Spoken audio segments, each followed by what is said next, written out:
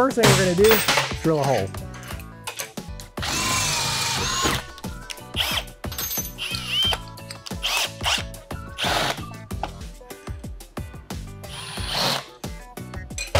Okay, the secret to this is square file. You can buy these all different sizes. So I got one that's quarter inch round.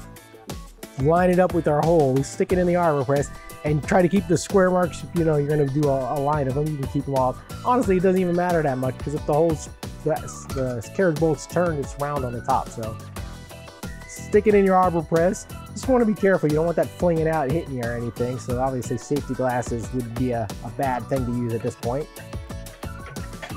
and press that right through, one shot.